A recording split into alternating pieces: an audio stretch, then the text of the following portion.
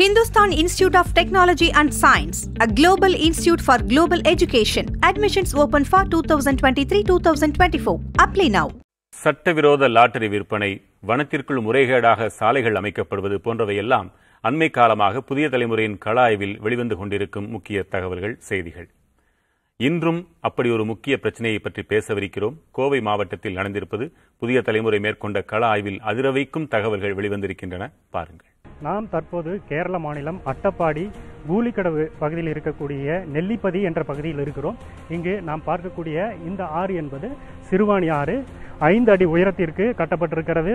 தொண்ணூறு சதவீத பணிகள் முடிந்து முடிந்த தருவாயில் இருக்கக்கூடிய சூழ்நிலையில் மேலும் சிறுவாணி ஆற்றில் கேரள பகுதியில் குலிக்கடவு பகுதியில் செக்டேம் என்று சொல்லக்கூடிய தடுப்பணைகள் கட்டுவதற்கு தீர்மானம் செய்யப்பட்டிருப்பதாக தகவல் வெளியாகி இருக்கிறது. ஏற்கனவே மழைக்காலத்தில் சிறுபாணி அணையின் முழு கொள்ளளவை ஐம்பத்தி இரண்டு அடி உயரத்துக்கு தேக்க விடாமல் கேரள அரசு தடுத்து வருகிறது. கோடை காலத்தில் வரக்கூடிய தண்ணீரையும் சிறுவாணி அணைக்கு வராமல் தடுத்து தடுப்பணைகளை கட்டி வருகிறது. சிறுவாணி ஆறும் பவானி ஆறும் காவிரி மேலாண்மை வாரியத்தில் கட்டுப்பாட்டில் உள்ள ஆறுகள்.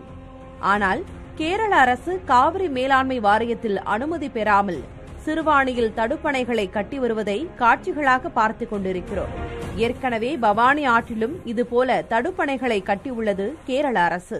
சட்டப்பேரவையிலும் இந்த விவகாரத்தை நேரமில்லா நேரத்தில் எதிர்க்கட்சி கொறடா எஸ்பி வேலுமணி எதிர்க்கட்சி தலைவர் எடப்பாடி பழனிசாமி ஆகியோர் எழுப்பினர். தொடர்ந்து பேசிய நீர்வளத்துறை அமைச்சர் துரைமுருகன் கேரள அரசு எழுபது மில்லியன் வரை நீரை தேக்கும் அளவுக்கு அணை கட்டியிருப்பதாகவும் அதிகாரிகள் ஆய்வு செய்துள்ளதாகவும் தெரிவித்தார்.